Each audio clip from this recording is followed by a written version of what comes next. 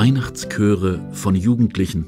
Ja, die gibt es zum Glück noch immer, wie damals zu meiner Zeit. Da drüben, eines der singenden Mädchen, das ist meine Tochter, und ich bin dankbar, dass sie gesund und unbekümmert ist. Ihre Gemütsruhe und Geborgenheit sind für mich noch immer etwas Besonderes. Auf keinen Fall sind sie Teil der Weihnachtserinnerungen aus meiner eigenen Jugend. Aber auch ich gehörte, als ich 15 war, zu einem Jugendchor. Und wir konnten mit unserem Gesang, wie eine blinde alte Dame uns damals versicherte, selbst den Teufel zur Andacht bewegen. Die Aufgabe unserer New Yorker Kirchengemeinde bestand in den frühen 60er Jahren vor allem darin, uns Teenager von all den offensichtlichen Bedrohungen fernzuhalten, von den Gefängnissen, den Drogenhändlern und den Glücksspielern. Der Dirigent unseres Chores an der Bethany Memorial Church, Marvin Boyd, verfolgte einen eigentlich unerreichbaren Traum.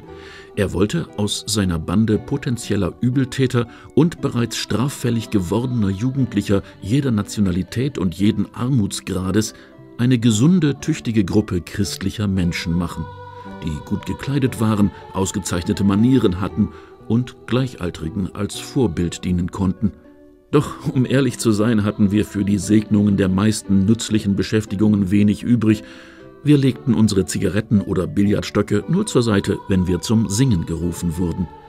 Aber dann sangen wir alles, überall. Und wir sangen gut. Als Mr. Boyd aus unserem Haufen, der zu improvisierten Treffen in Kneipenhinterzimmern zusammenkam, einen richtigen Chor formte, komplett mit einheitlichen Gewändern, erwiesen wir uns zu seiner Überraschung des Vertrauens würdig. Kein Chor hat jemals intensiver geprobt. Innerhalb von zwei Jahren wurden wir offenbar tatsächlich die christlichen Vorbilder, die er sich erträumt hatte.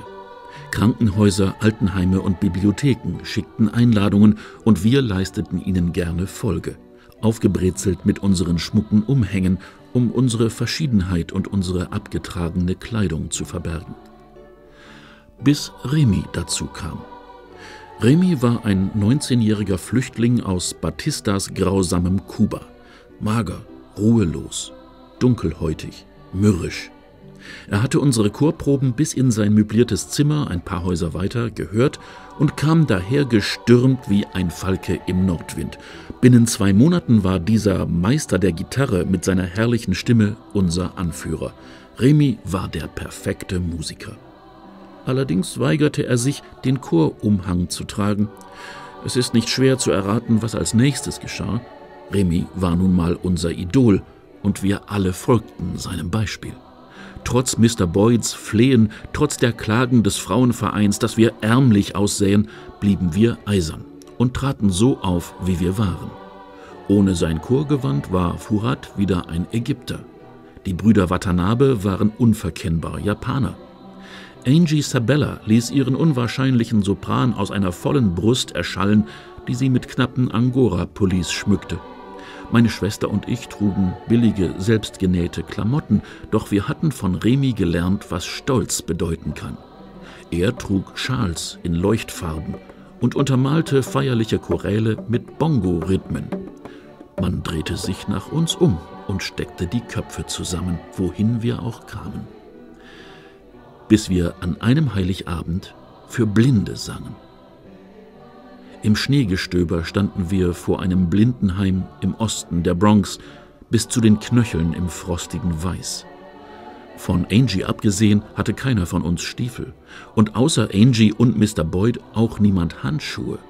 Wir waren nass und starr von dem langen Weg von der Hochbahnhaltestelle, doch die 42 Geschenke, die wir für die Patienten mitgebracht hatten, waren sicher unter unseren Jacken und Mänteln verstaut. Eine Pflegerin ließ uns ein und bat uns, die nassen Schuhe auszuziehen und es nicht übel zu nehmen, falls einige der Patienten während des Vortrags schnarchten. Sie hätten nämlich gerade ein richtiges Festmahl mit echtem Plumpudding hinter sich. Wir blickten mit großen Augen auf die Blinden, die sich aneinander festhielten, als sie in den Saal geführt wurden. Ihr Lächeln war strahlend, fast kindlich als hätten wir das Christkind höchstpersönlich mitgebracht. Hatten wir je, ehe diese ungewöhnliche Heiligabendparade an uns vorbeizog, geglaubt, dass es außer unserem eigenen noch anderes Leid auf der Welt gab? Wie sollten wir für diese Menschen singen? Hatten wir überhaupt eine Botschaft für sie, die ihnen etwas bedeuten konnte? Nun, die Stiefkinder des Glücks verstehen einander. Und so stimmten wir an und gaben ihnen alles, was wir zu bieten hatten. Wir begannen mit Jingle Bells. Sofort klatschten sie mit uns, die Füße schlugen den Takt und sie stimmten sogar ein. Dann folgte Stille Nacht mit Angies engelsgleicher Solostimme. Das Lächeln wandelte sich in Tränen. Was bewies, dass auch Blinde weinen können? Das hatten wir nicht gewusst. Immer ergriffener wurden sie, während wir weiter sangen. Sie weinten oder starrten mit offenem Mund geradeaus, blickten an uns vorbei zu irgendeinem Ort in irgendeine Zeit, die nur Blinde sehen können. Immer mehr Zuhörer tasteten sich mit Stöcken herbei oder wurden in Rollstühlen hereingefahren. Und dann war es Zeit für die Bescherung. Wir waren so aufgeregt, dass wir etwas schenken durften, wie es nur die Armen sein können.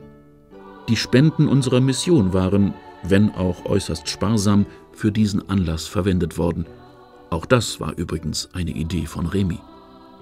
Einige von uns sangen ein Solo, während die anderen die Geschenke in die erwartungsvollen Hände oder auf den Schoß der Blinden legten. Aber noch immer kamen weitere hinzu. Ein Lied nach dem anderen folgte, bis uns allmählich klar wurde, dass unsere Geschenke nicht für alle reichen würden. Wir zählten immer wieder mit wachsender Verzweiflung, es waren und blieben 15 Personen zu viel. Josef, lieber Josef mein, nur Angie sang noch. Wir anderen gestikulierten und deuteten auf die wartenden Hände der Blinden in den letzten beiden Reihen. Mr. Boyd sammelte uns um sich und versicherte flüsternd, dass alle Verständnis haben würden. Er wollte eine kleine Rede halten und sich persönlich entschuldigen. Remis eindringlicher Blick suchte jeden von uns. Dann nahm er seinen grellgelben Schal ab, wickelte ihn sorgfältig in Papier von bereits ausgepackten Geschenken und legte ihn in den Korb. Ihr müsst das nicht tun, sagte Mr. Boyd aber niemand hörte auf ihn. Wir durchstöberten schon unsere Taschen. Richie Watanabe wickelte sein Taschenmesser ein und gab es in den Korb. Fuad nahm seinen Gürtel ab. Angie holte ihre Handschuhe. Ich nahm einen dünnen Silberring vom Finger. Remy schob seinen Hocker vor die erste Reihe, zupfte seine Gitarre und sang mit klarer, voller Stimme, während wir Geschenke einpackten. Haarbürsten, Kämme, ein Christophorus-Medaillon, Marys neue Mütze, Mr. Boyds Uhr, seine Uhr für einen Blinden. Um Mitternacht verließen wir das Heim, gerade als die Glocken einer nahen Kirche Weihnachten verkündeten. Voll innerer Wärme schritten wir den langen Weg zur Haltestelle zurück und sangen, während wir auf die Hochbahn warteten. Ein Geistlicher und zehn Stadtkinder mit glänzenden Augen stemmten sich ohne Handschuhe und Stiefel gegen den Wind. Ich nahm damals etwas mit, was mir bis heute erhalten geblieben ist. Wir, die wir nichts zu verschenken hatten, gaben von unserem Reichtum. Wir, die wir nichts als zerlumpte, abgebrühte, einsame Gassenkinder waren, waren gerührt und gezeichnet durch unsere Kraft zu lieben. Der Himmel, von dem wir sangen, schloss nun auch uns ein, so wie wir waren, sogar ohne Chorgewänder.